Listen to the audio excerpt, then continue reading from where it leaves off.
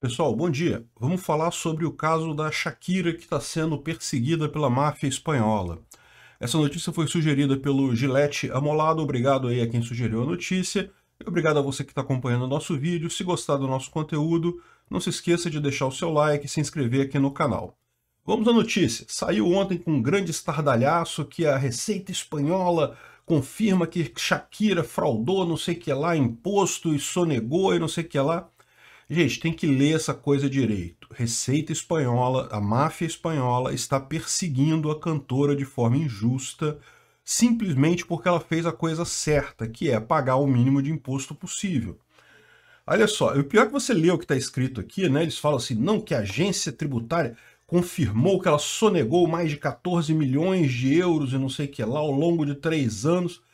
Qual que é a, a, o fundamento aqui? Parece que entre 200, 2012 e 2014, a Shakira, como é, é muito comum com artistas, tem residência em vários lugares e fica tempos em cada país, né?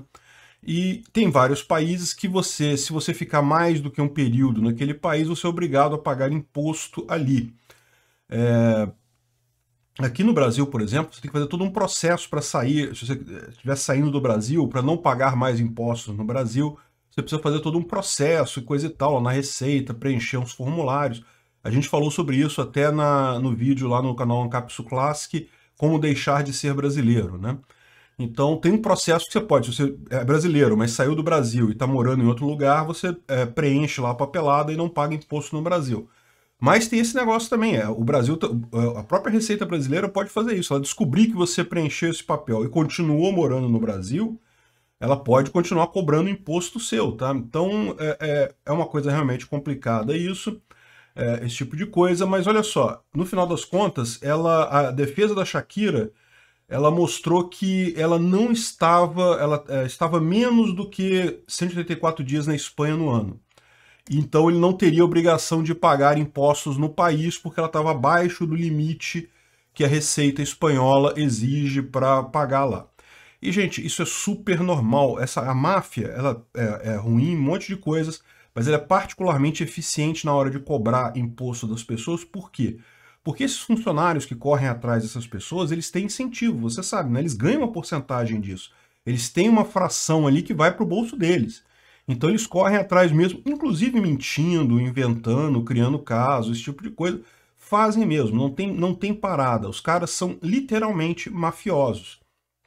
Então, como fizeram com o Neymar aqui no Brasil, receber via PJ é perfeitamente legal, isso está descrito na lei, é tudo legal, é perfeito, não tem problema nenhum com isso.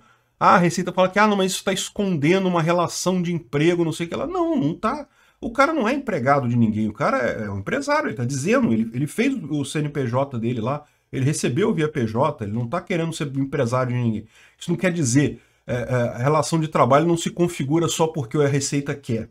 E, felizmente, aqui no Brasil, a maior parte desses casos que a Receita corre atrás de dizer que o PJ está recebendo como empregado e tem que pagar imposto, a Receita perde, tá? Não vou dizer que ganhe todo, que perca todas, mas a maior parte ela perde. Tem o pessoal aí também, eu já falei sobre isso aqui no, no, no canal, é, querendo que a, a, Globo vai perder, não sei o que lá. O que, que, o que, que acontece nesses casos? O fiscal da Receita enche o saco, enche o saco, enche o saco, leva para a justiça, porque lembra, quem paga isso tudo, para, para a Receita, o cara não está tá pagando nada. É o, é o governo que está incorrendo em todos os custos. E, e ele, se ele ganhar aquele caso, ele ganha uma grana. O fiscal lá da Receita, lá, o, o procurador tributário, coisa e tal. Qual que é a ideia deles? É encher tanto o saco que no final faça pelo menos um acordo e alguma coisa seja paga em termos de imposto nisso daí. Isso que eles fazem, eles sabem que vão perder. E deve ser o caso aqui da Shakira também. É a mesma coisa. A Receita enche o saco dela absurdamente, cria um monte de problema, entra na justiça, faz a ação, faz esse escarcel que aí para uma, uma pessoa pública como a Shakira. É, para nós, ela ganhou fome dos libertários. Libertário virou heroína agora. Ela, tô, grande heroína libertária Shakira.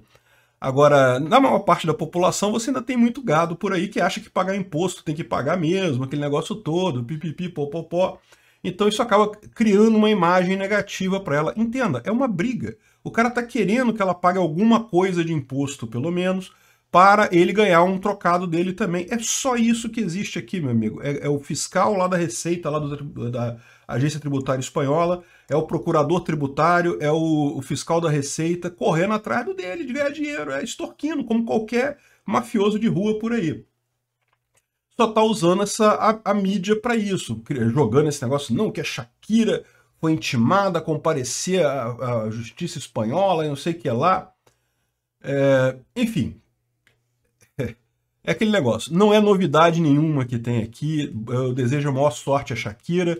Eu tenho certeza que ela vai sair bem disso aí. Afinal, mesmo que ela perca isso daí, meu amigo, isso daí, vamos ficar tranquilo. Ela tem uma fortuna bastante razoável. Mesmo perdendo essa grana, não vai ser nada demais. De qualquer forma, eu fico muito feliz que ela continue. É, aqui, esse aqui é promotor público da Espanha em 2018. Esse é o cara que está querendo ganhar dinheiro com a parada. Então, é, Bom, eu desejo boa sorte a Shakira, eu tenho certeza que ela vai sair bem dessa. Talvez tenha que pagar alguma coisa, no final das contas, extorsão funciona. Extorsão continua existindo por um motivo, geralmente funciona. Então, infelizmente, talvez ela tenha que pagar alguma coisa para a máfia, mas é isso daí, Shakira. Continue o bom trabalho. Meus parabéns pela sua carreira tributária aí. Se chegou até aqui e gostou do conteúdo, clique no like e se inscreva no canal. Isso me ajuda e ajuda também a causa da liberdade, pois o YouTube vai passar a recomendar mais os meus vídeos e vídeos com temas libertários para você e para outras pessoas. Considere também clicar no sininho e pedir para ser notificado de novos vídeos. Caso queira sugerir uma notícia para falarmos aqui, é só ir no nosso site https ancap.su, clicar lá em sugerir uma pauta, colocar o link da notícia, pode acrescentar alguma informação se você quiser. Eu agradeço a todos que nos ajudam a fazer este programa.